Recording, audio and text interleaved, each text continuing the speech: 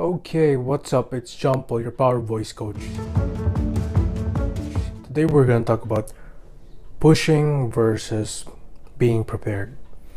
Have you ever been somewhere where you're trying to speak a lot of content in a couple of hours, like getting one hour of content and jamming it into 10 minutes? So you're speaking fast, you're speaking loud, and etc. Then you're trying to push through because you're exhausted. You try to push through, push through, but eventually it all sounds weak. That's why there are some times where you need to really prepare yourself for those training moments, especially when you're talking for long periods of time.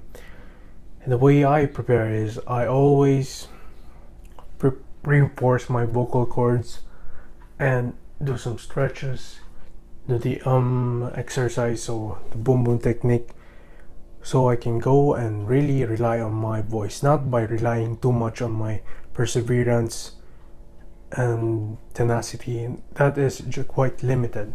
So it's way more better if we can rely on our preparedness. It's like we're conditioning the body to be prepared for battle.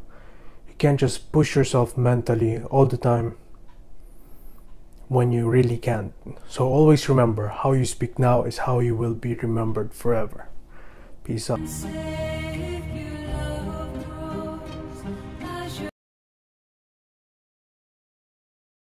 coach